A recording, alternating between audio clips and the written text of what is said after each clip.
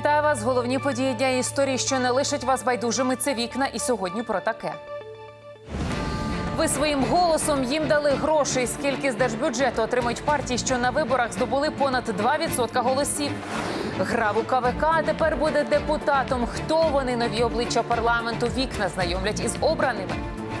І кросівки за півмільйона доларів. Хто і навіщо придбав таке дороге взуття? Про все це далі. ЦВК на фінішній прямій. Уже опрацьовано 99,7% електронних бюлетенів. Тож майже остаточно крісло Верховній Раді будуть розподілені наступним чином.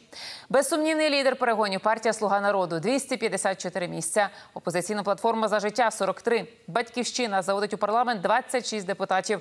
Європейська солідарність на одного менше 25. І партія голос два десятки народних обранців. Ще 10 місць у Верховній Раді дістануть представники інших партій, які перемогли в мажоритарних округах, і 46 самовисуванці. Нагадаю, останній день, коли ЦВК має оголосити остаточні результати виборів 5 серпня, а зібратися нова рада мусить до 10 вересня. Звільнити кличка з такою ініціативою виступив президент Володимир Зеленський. Просить уряд усунути його з посади голови Київської міської державної адміністрації. Причина повноваження голів міської адміністрації закінчується разом із каденцією президента, який їх призначив. Тому нинішнє звернення до Кабміну носить радше формальний характер. Утім, у кличка кажуть, поки офіційної інформації про це подання вони не отримували. Раніше Зеленський підтвердив, що підтримує розподілення повноважень мера Києва та голови КМДА, які кличко наразі поєднує. Поставили галочку, віддали їм гроші. Державне фінансування з бюджету дістануть партії, які після парламентських виборів подолали двовідсотковий бар'єр. Усе заради того, аби політичні сили фінансували самі люди, а не олігархи. Нині йдеться про півмільярда гривень українських платників податків. Як розподілять ці гроші і хто контролюватиме їх витрачання? Ірина Заславець з'ясовувала. Дивіться, яке пахне. Знайомтеся, пенсіонерка Раїса – одна з моїх експерток з народу, продає квіти біля метро. Поряд з нею колишня далекобійниця Віра за абрикосами. Це мене ще по телевізору вже покажете. Третя пані просить називати себе просто бабця Нюра. Каже, згоди в політичних поглядах тут немає, а дискусії чи не щодня. Скільки нас людей, це скільки мнєній. Усі троє в неділю голосували, але жодна із них навіть не підозрювала, ставлячи галочку навпроти партії, разом зі своїм голосом віддала тій ще 38 гривень 42 копійки. Це 2% від прожиткового мінімуму і вклад кожного виборця у підтримку діяльності симпатичної йому політсили. Інформація, що викрилася, першою збурила бабцю Нюру. Яким ще мало, тим, що вони там у тому Верховній Раді, яким ще мало. То ще може, ми можемо і тут по рублю собирати, по гривні. додати їм. Мета державного фінансування партій вивести їх із під впливу олігархів. Власне, закон про нього був одним із обов'язкових для отримання безвізу. Впродовж останніх трьох років українці утримували шість партій, що були представлені в парламенті. Нині ж до наступних виборів утримуватимуть уже не шість, а 11 партій, тих, що набрали два і більше відсотка підтримки українців. Бюджети держфінансування прямо залежать від кількості виборців. Оскільки їх було майже 15 мільйонів, його сума на наступний рік складе понад півмільярда гривень. 10% отримують партії, які у списках мають понад третину жінок. Таких дві голос і європейська солідарність. Далі кошти розділять за пропорцією. Переможцеві найбільше, тому хто ледь здолав бар'єр найменше. Тож слуга народу отримає 240 мільйонів. Об'єднання Свобода 12. І шок цієї кампанії для багатьох. Понад 12 мільйонів за виборцями підуть до партії одіозного блогера Шарія, проросійські настрої якого підтримали 320 тисяч українців. Пані Раїса про останнього нічого не чула. Сама вона голосувала за слугу народу, тож сумою, яку той отримає від виборців, неабияк задоволена. В Україні стільки розвелося всякої нечисті, так йому ж треба багато грошей. А без грошей що він може зробити? Нічого. Алгоритм отримання державного фінансування наступний. ЦВК оголошує офіційні результати виборів. Партія, яка набрала 2%, відкриває спеціальний рахунок. А от рішення про переказ на нього коштів ухвалюють вже тут у Нацагенції з питань запобігання корупції. Сюди ж партії звітують і за кожну витрачену копійку. Ми розуміємо, що ті, хто попадають у 2%, вони можуть стати потенційно порушниками, е, стосовно яких нам прийдеться все ж таки застосовувати заходи або зупинення, або припинення державного фінансування. Підстави для цього кримінальне переслідування або неправильна звітність. Прошу показати ту, яку партії подавали раніше. Яка вас партія цікавить? Шарія. У системі вона ще значиться як об'єднана Україна. Партією Шарія вона стала лише два місяці тому. Та кругом, де мають бути цифри у документах, прочерк. Пустишки, от ми називаємо вся форма звіту, прочерк. Це законові не суперечить, але лише поки. За перший транш, який партія отримає на початку року, наприкінці кварталу змушена буде відзвітувати належним чином. Одне порушення попередження, друге порушення втрата держфінансування. Якщо поліцила протягом року кошти не освоїть, більше на них розраховувати не зможе. Якщо це партія, яка буде знаходитись на державному фінансуванні, потрібно буде показувати, як витрачаються кошти. Потрібно буде елементарно хоча б набрати штат працівників, чим займається оренда. Ну тобто тут уже пустишкою не обі- не що ти їм демонтуєшся? Екс-далекобійниця Віра, яка ще кілька хвилин тому і гадки про те фінансування не мала, прискіпливо намагається второпати кому і скільки. Та по скільки мільйонів ви кажете? Зеленський 240. Так, далі. Перелічую І куди ті гроші підуть? на їхню партійну діяльність. Куди хотять, туди дінуть їх, да? Витрачати кошти платників податків партії можуть лише на статутну діяльність. Одначе десь пані Віра права визнає аналітики з партійних фінансів руху чесно Ігор Фещенко. Бо українське законодавство прописане таким чином, що під виглядом партійної діяльності можна просунути як рекламу, так і марнотратство. Тобто, якщо я на Мальдівах вирішу провести робочу зустріч партійну і скажу, що мені там ну найбільше атмосфера сприятиме продуктивності рішення.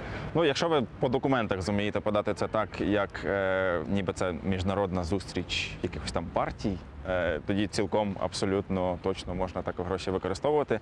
Єдине, що е, ведмежу послугу е, така партія зробить всім іншим партіям, бо е, в значній мірі дискредитує державне фінансування як таке, і очевидно люди почнуть вимагати е, скасування. Подібний досвід кілька років тому мала сусідня Польща. Деяких політиків там звинуватили у тому, що за бюджетні кошти купували собі предмети розкоші.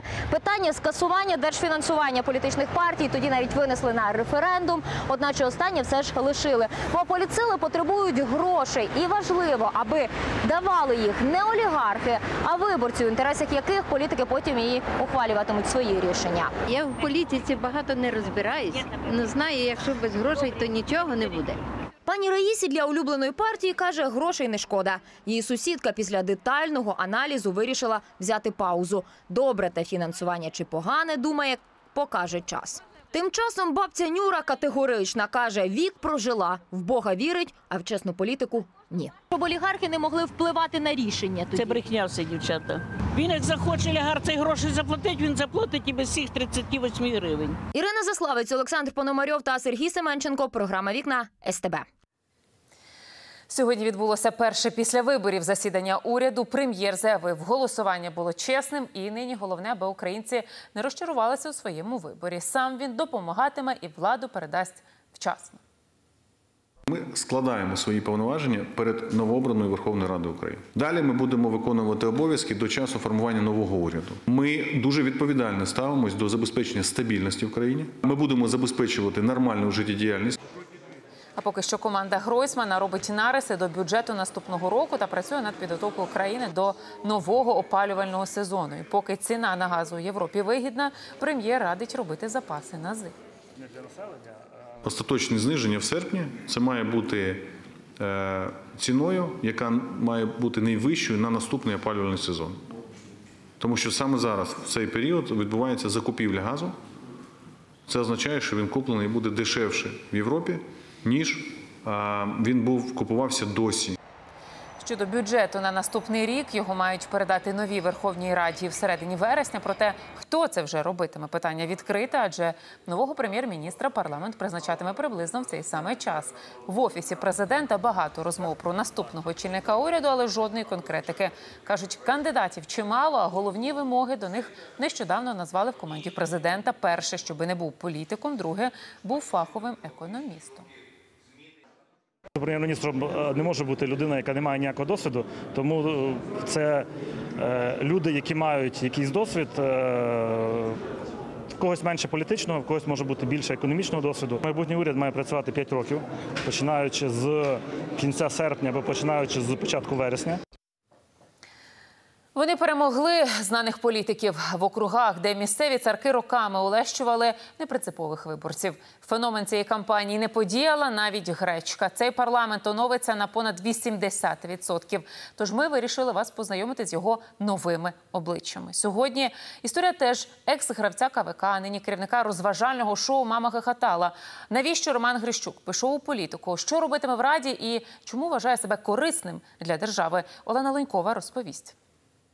Ми не ноунейми. Саме так їх називають новачки, ім'я яких не знали дотепер, перемогли мастодонтів політики. Привіт, я Рома Грищук, кандидат від Зеленського по Солом'янці. Тобі зручно ходити цими переходами, їздити розбитими вулицями, місяцями сидіти без гарячої води. Роман мажоритарник лідер за кількістю відданих йому голосів. Більш ніж 28 тисяч. Та чесно зізнається, розуміє, що голосували не скільки за нього, як за бренд. Чому вас обрали? Три речі: перша е, стара влада, яка вже була 17 років на районі, вона вже всім набридла. Друге це е, бренд і слуга народу, і довіра до слуги народу. Третє це вже Роман Грищук. Я особисто як людина, яка йде від бренду. Я навчався в КПІ, я жив в цьому округі. Рідний район, рідний округ. Його тут дійсно знають і ті, хто голосував за, доброго дня. і ті, хто проти. Я за солидарность и расстроена, что многие не поддержали, и непонятно, да, да, да, да. І мені не зрозуміло, звідки таке, таке велике е, відношення, таке добре до Зеленського. Приблизно. Хлопця ви впізнаєте? Грищак Чекав. Я пам'ятаю, ви десь були. Ви журналіст, Е, телевізійна програма була одна з діє- але не в шоу-бізнесі, не Юзік, не його родичі. Я все-таки в шоу-бізнесі був. Ми були конкурентами з 95-м кварталом. Вже сьомий рік він керівник розважального шоу Мама хахатала. Саме тут, у своєму окрузі, він починав свою кар'єру і гумористичну, і як виявилось, політичну. Думки про політику були завжди. Президентом школи був, я був у мене золота медаль була. Я вступив до університету. На другому курсі став головою студради. Паралельно створив е, команду КВН. Після того, як ми випустилися, ми з нуля, не маючи ні копійки грошей, почали створювати студію. А ось до команди Слуги народу запевняє, потрапив через інтернет. Ніхто не дзвонив. Це була ініціатива подати свою заявку в ліфт саме по 222 округу. Тобто ви просто відкрили сайт, написали, хто ви і що ви хочете. Е, Записав відео, три законопроекти, біографія, антибіографія. А антибіографія, що це? І що ви там написали? Е, Те, що я брав участь в розсміши коміка. Итак, представьте себе случай в сім'ї. Давай далі.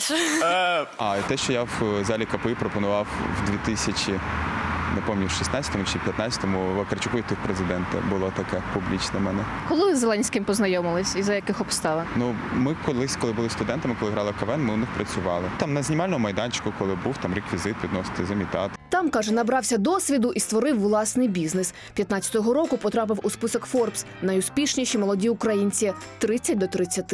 І ось про що мріяв. Основная цель это, чтобы за пять лет мы стали одним из самых крупных продакшенов юмористических. И самое важное, мы хотим э, снять свой прокатный фильм и несколько культовых таких сериалов, которые будут всем смешны, которые будут все смотреть.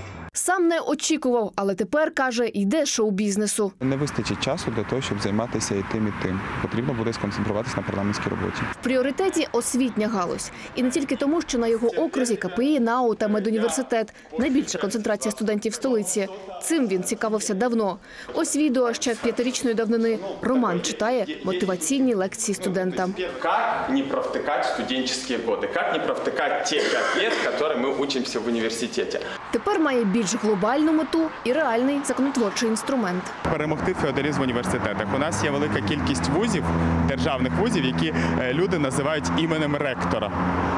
Ну, університет Поплавського, Ківалова. Тому потрібно, знаєте, влити свіжу кров. в Яка та законодавчі свіжа документи, кров зробити- у майбутньому парламенті? Перевіряємо експрес-тестом для нардепа новачка. Поїхали. Вартість літру молока. Та дивлячись, яке молоко, я не знаю, там 10-13 гривень. Кубометр газу. Я від 8 до 9, в залежності від регіону України, 8-30 десь в Києві. Конституційна більшість це скільки? 300 депутатів. Е, Ви сказали, що ви хочете е, займатися освітою. Яка середня зарплата вчителя? У мене немає, в мене немає цифри в голові. Московський проспект, проспект Бандери ваш варіант. Проспект Бандери. На Донбасі війна з Росією, громадянська війна ваш варіант. Війна з Росією. Одностатеві шлюби, так ні. Е, Я думаю, що ми маємо до цього прийти, проте е, це має бути поступовий шлях для того, щоб людям пояснювати, а не одразу приймати, робити з плеча. Розподіл державної влади, назвіть гілки. Законодавча, виконавча, судова. Ну і ви. Які пісні у вашому плейлісті? Ну, популярна українська музика. Казка, монатік. Яка Я, я не скажу, що в мене якийсь там вишуканий музичний смак. Яка остання книга, яка вас вразила? Юваль Ной Харарі 21 урок для 21 сторіччя. Найбільший ваш страх? Ну, розч- там- розчарувати, розчарування. Ну, от якщо я когось розчарую. А є якісь червоні лінії, які змусять вас піти з цієї команди і з з цього парламенту? Є. Якщо я буду бачити, що е, рішення, які приймаються партією, вони йдуть на е, користь якійсь малій частині нас. давайте так назвемо малій частині населення, а не більше. Олена Лунькова, Владислав Костюков. Програма Вікна СТБ. Тиша на фронті від початку цієї доби бойовики жодного разу не вдаряли по позиціях українських військових. Тож українська сторона готова продовжувати заходи з розведення сил, зокрема демонтувати три захисні споруди в районі контрольно-пропускного пункту станиця Луганська. Однак усе це за умови одночасного демонтажу з боку найманців і подальшого дотримання режиму тиші. А бойовики його вчора порушували із автоматичного гранатомета та стрілецької зброї гатили в українських військових поблизу селища Луганського. Ув'язнені українські моряки вже незабаром можуть повернутися додому. Уповноважена Верховної Ради з прав людини Людмила Дінісова заявила, між Україною і Росією є домовленість про звільнення 24 військовополонених, яких росіяни захопили в Керченській протоці. За її словами, вже оформлюють останні документи, які дадуть змогу випустити бранців з російської тюрми. Мені відомо, що проводяться переговори щодо повернення моряків у рамках виконання рішення міжнародного трибуналу ООН з морського права. Сподіваюся на те, що усі необхідні документи будуть направлені та враховані. Чекаємо на моряків вдома. Минулого тижня Дінісова звернулася до керівника слідчого управління ФСБ Росії із клопотанням відпустити моряків під її особисте зобов'язання. Згодом російські пропагандисти підтвердили, що такий варіант можливий. Однак незабаром після заяви Дінісової російська омбудсменка Тетяна Москалькова заявила, що жодних рішень про звільнення полонених моряків російські слідчі не ухвалювали. І новина останніх годин. Ще 14 моряків опинилися в руках росіян. В одному з портів Кубані затримали судно з українцями на облавку, начебто через його незадовільний стан і заборговану екіпажеві заробітну платню. Трьох українців вже відпустили додому. Долю решти вирішують. З вітерцем, оминаючи затори у Дніпрі через закритий на ремонт міст, городяни доправляються з лівого на правий берег катером. По тому, як мер міста Борис Філатов заклався із президентом і закрив центральну переправу, в бік урядників посипалося обурення людей. На трафік між берегами Дніпра вони змушені гаяти купу часу. Тож власники катерів знайшли вихід переправляти містян через річку. Прокаталася і Юлія Любарщук. На годиннику 7.30 Олександр підпливає на своєму катері до лівого берега Дніпра, де на нього чекають люди. Я просто после 10 освобожусь. Хорошо, не вопрос. Перевезем. Ідею переправи катером Олександрові підказали друзі, зморені щоденними тиснявами. Очень меня попросили, чтобы я как-то посодействовал в этом плане. Помог, может быть, разгрузить где-то кому-то пробки, не стоять там, не мучиться по душным, жарким маршруткам. А, Мне эта идея понравилась. А, Вот и я решил попробовать. Вроде людям заходит это. Щодня еколог за фахом прокидається о 6 ранку, заправляє плавзасіб і рушає до пасажирів. Такий незвичний спосіб дістатися вранці до роботи обходиться у 35 гривень. На перший погляд не дешево. Проте, якщо громадський транспорт та автівки це довго, душно і тісно, то в поїздці з Олександром і час економиш, і естетичне задоволення від краєвидів отримуєш. Это абсолютно не заработок. В лучшем случае я отбиваю бензин, который вложил.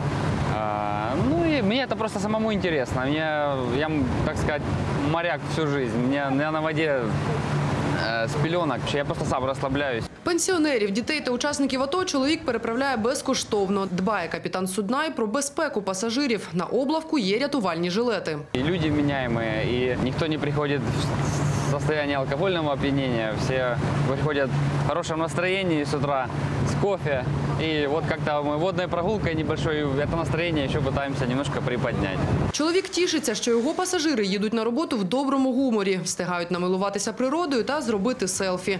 Пасажири вдячні Олександрові за ідею. Утром его ждем вообще, вечером, как не знаю. На работу, с работы ждем, дожидаемся. Не, молодец, конечно. Придумал просто супер. И позитивно, и полезно, и воздухом подышать. Через мост походили пару раз, ну как-то так.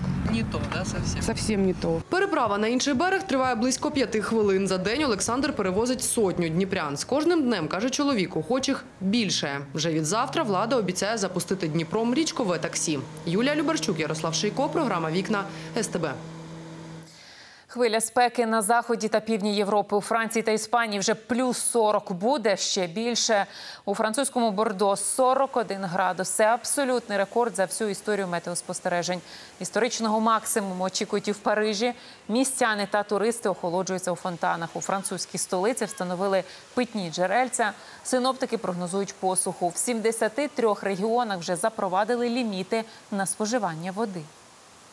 Аномальна спека це наслідок кліматичних змін. Ця проблема нікуди не дінеться. Проте, завдяки вчасним застереженням та спеціальним заходам, цього разу вдалося уникнути фатальних наслідків. Понад 40 градусів уже в Іспанії. Від пекельного сонця людей рятує хіба що традиційна сієста. Від 11 ранку до 3 дня вони намагаються не виходити на двір. Рятувальників попередили про ймовірність лісових пожеж. Температурних рекордів очікують у Бельгії, Нідерландах, Німеччині. 35 градусів навіть на Британських островах, де раніше ніколи не потерпали від спеки. І Британія вже офіційно з новим прем'єром посаду очільника уряду однієї серед найвпливовіших країн світу обійняв Борис Джонсон. Та не встиг він ще вийти на нову роботу, як на вулиці Лондона вийшли протестувальники. Бояться, що Джонсон доведе Британію до економічного занепаду. Звідки такі думки? Дивіться. 45 хвилин Британія залишалася без прем'єр-міністра. Саме стільки часу минуло від складання повноважень Терезою Мей до вступу на посаду Бориса Джонсона. Офіційно він став очільником уряду лише після авдієнцію королеви Єлизавети II.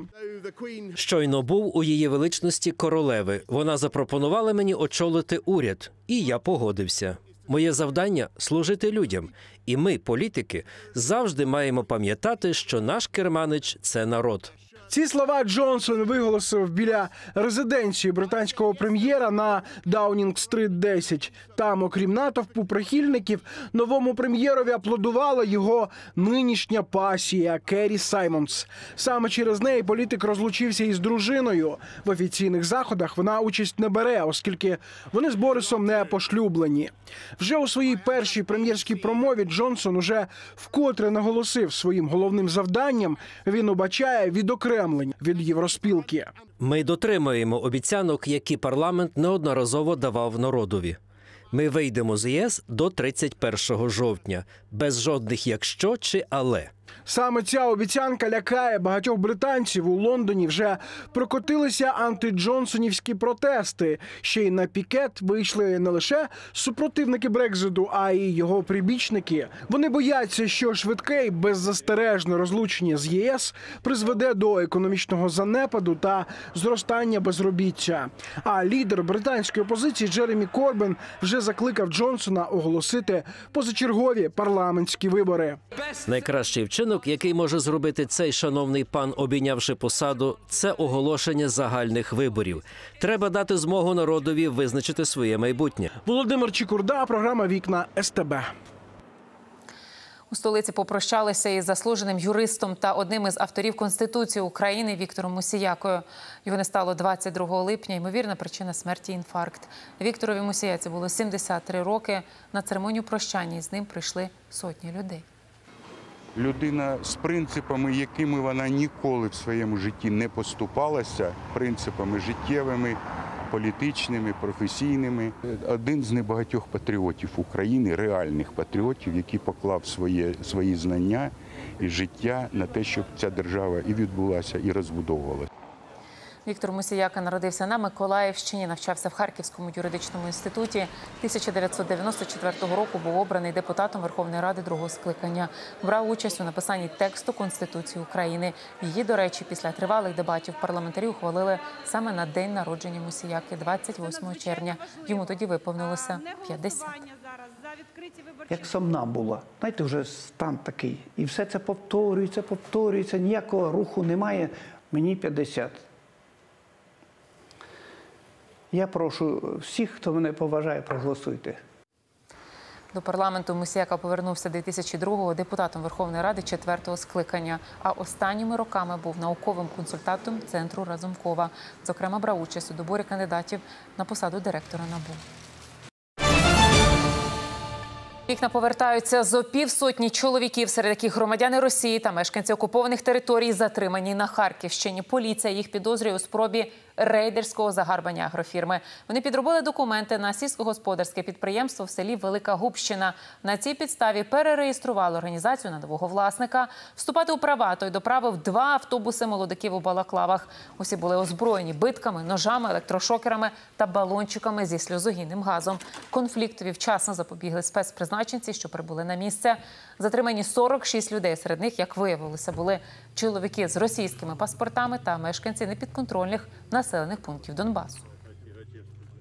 З'ясувалося, що невстановлені особи підробили та використали завідомо підроблений офіційний документ, а саме договір позики грошових коштів, який було посвідчено приватним нотаріусом Київського міського нотаріального округу. Максимальне покарання за вчинення даних злочинів передбачає від 5 до 12 років позбавлення волі За день до фіналу вже завтра українці дізнаються, хто переможе в другому сезоні нових лідерів і отримає мільйон на реалізацію свого проєкту. До фіналу потрапили троє учасників. Вони здолали випробування на детекторі брехні, відверто говорили на суперечливі теми та відповідали на непрості запитання експертів. Тож які ідеї нових лідерів вже зовсім скоро можуть втілитися в життя? Дивіться. Вони сперечалися, доводили слушність своїх слів та шукали залізних аргументів на найсуперечливіші теми в Україні. Говорили про легалізацію одностатевих шлюбів, марихуани, грального бізнесу, проституції та зброї. Минулий півфінальний ефір другого сезону нових лідерів запам'ятається глядачам гострими дебатами. Эта проблема не решается легализацией. Эта э, проблема решается работой наших силовых э, ст- структур. Врешті рішення, хто пройде далі і змагатиметься за один мільйон на реалізацію свого проєкту, ухвалювали глядачі, і саме ви обрали найпереконливіших нових лідерів. Ми зможемо побачити, чиї аргументи були більш переконливими пана Євгена чи його колег по півфінальному ефіру. Євген Осипчук, Володимир Шматько і Оксана Жолнович стали фіналістами нових лідерів. 2 їх аргументи найпереконливішими, лідерські навички найочевиднішими, а проєкти найвагомішими для реалізації. Починаючи з прямих ефірів, експерти не мають е, голосу. Е, Саме глядачі вибирають, чи подобається їм яка тема, чи як себе веде і презентує новий лідер. Е, А також залежно від того, як змогли ці лідери мобілізувати своїх симпатиків, так і відбувається і виглядають результати. Ярполк Тимків, один з експертів нових лідерів, каже, до фіналу потрапили учасники, чиї ідеї за умови успіху можна масштабувати. Наприклад, задум фіналіста Євгена Осипчука створити єдину національну електронну базу дітей-сиріт можна втілювати і для інших вразливих соціальних груп. А от план Чортківського міського голови Володимира Шматька з економічного розвитку громад легко реалізувати по всій Україні. Про тих, котрі прийшли в фінал, е, однозначно їхні ідеї і проектні можливості, якщо успішно реалізувати в, ем, в тих громадах, де вони про- чи групах, де вони пропонують, можна потім екстраполювати на інші. Ще одна фіналістка Оксана Жолнович у своєму проєкті запропонувала вдосконалити трудовий кодекс. Експерти наголошують, усі ідеї, які нині представляють учасники фіналу, стосуються саме тих царин, що найбільше цікавлять українців, адже глядачі висловили свої побажання у додатку телепортал. Насправді більшість учасників вже другого сезону а, це були також учасники, які приймали участь в першому сезоні. Вони вже краще відчували аудиторію і власне запит від суспільства. І звичайно, що суспільство зараз дуже хвилює економічна ситуація і соціальна захищеність. Які випробування чекають на фіналістів нових лідерів 2 ви дізнаєтесь уже цього четверга. Я думаю, це буде дуже яскравий фінал, тому що всі троє представників, власне, два представника, одна представниця, вони дуже яскраві. Під час фінальної програми вирішиться і хто з трьох претендентів виграє мільйон на реалізацію свого проєкту. Анастасія Єчкалова, Максимільян Ільченко. Програма Вікна СТБ. Двірник із золотими руками в Одесі Ігор Красняк створює з мотлуху справжні арт-об'єкти. Останніми роками він перетворив двір, фасад та під'їзд, у якому живе на справжній музей, а провулок, який прибирає на галерею. Тепер сюди юрбами вчащають туристи, бо навіть прості одесці не можуть пройти повз, аби не зафільмувати інсталяції просто неба. Анастасія Кужушко далі. Ранок 73-річного пана Ігоря розпочинається о 5 годині. Щойно прокинувся, чоловік рушає до моря. Кілька хвилин водних процедур і до роботи. Приїхав на велосипеді, опонувся і 6 лет тут Вот мне воды подпитал.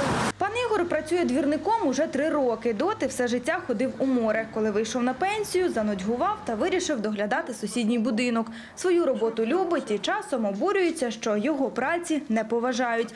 Ось до прикладу, сьогодні господар не прибрав за своїм собакою, що випорожнився прямісінько на газон. Все-таки вот когда более ухоженно стараются, уже меньше. Но вот это вот все, вот, это я просто упустил, не видел. Это ж... Это только сделала собака с жильцом. По обіді, коли вулиця блищить, чоловік іде додому. Там дає волю уяві. З того, що знаходить на смітнику, створює справжні арт-об'єкти. Вот так, если бы я вместо телевизора, я иду, сажусь и леплю. Ідея прикрасити сіре подвір'я виникла з унітазу. Брат менял унитаз и выбрасывал. Я говорю, подожди, давай сделаем цветочник. И так получилось. Мы, я его поставил сначала, тумб не было, я его поставил, эту тумбу я сделал с, пнем, выдалбливал, выкорубливал. Белый унитаз. Добрый. Поставил белый унитаз, потом голову ударило покрасить, я его покрасил. Потом говорят, надо батон сделать. Я сделал батон из пенопласта. Останніми роками пан Ігор перетворив двір на справжній музей. На брамі облаштував гніздо з лелеками, на дверях до під'їзду зобразив кавалера з квітами, який прийшов на побачення до коханої. Друге життя дістали і старі поштові скриньки. Тепер на них красуються дитячі іграшки. Містяни та туристи, що гуляють вулицею, де господарює пан Ігор, не лишаються байдужими. Очень красиво и очень приятно за свой родной город. Фантазия работает у Игоря Васильевича, конечно, потрясающая. С любовью к городу, с любовью к своим соседям. Вот это он все делает. У меня, когда гости приходят, я всем провожу такую маленькую экскурсию. И все говорят, Игорь, спасибо большое. Завзятість творчого двірника зацікавила й професійних художників. Ось цю фасадну стіну панові Ігорю допомогли розмалювати фахівці. Кораблики Дюков нарисовал, он кораблики нарисовал и, мая, и маяк. А это пнё. Ну, камень это я рисовал, облаживал я камнем, доску я делал. У доробку пенсіонера вже зо півсотні інсталяцій, та цим він не обмежується. Невдовзі можна буде помилуватися скульптурою Божої Матері з маленьким Ісусом. Анастасія Кожушко, Євген Репенько, програма «Вікна» СТБ. Майже півмільйона доларів за старі кросівки. Новий рекорд аукціону Сотбіс. За ось ці кросівки, виготовлені з 72-го року, канадський бізнесмен Майлз Надаль заплатив 437 тисяч доларів. Так дорого взуття ще не купував ніхто. Це одна із найперших моделей Nike. Таких виготовили всього 12 пар. Це єдина, яку за всі ці роки ніхто не носив. Новий власник купив її для колекції, яка тільки за минулий тиждень побільшала на 99 пар. За них багатій сплатив 850 тисяч доларів. Нехай всі покупки тішать вас невимовно, але нехай вони будуть розумними. Дякую, що ви були з вікнами. До завтра.